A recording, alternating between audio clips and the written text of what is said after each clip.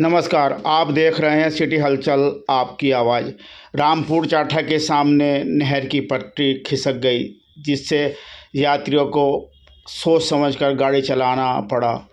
जैसे ही सूचना उप जिलाधिकारी विजयवर्धन तोमर और एडीएम बिजनौर को मिली अधिकारी मौके पर पहुँचे। आप देख रहे हैं उप उपजिलाधिकारी और एडीएम और पीडब्ल्यूडी विभाग के अधिकारी घटनास्थल पर पहुँचे और मट्टी भरान का कार्य शुरू कर दिया।